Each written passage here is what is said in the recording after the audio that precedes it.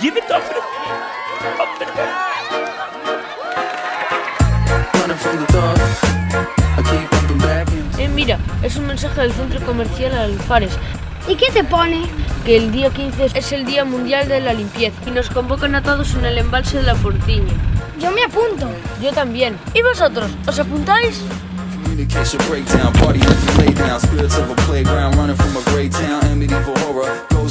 paths that I'll travel through tomorrow. Follow each and every step that I take as many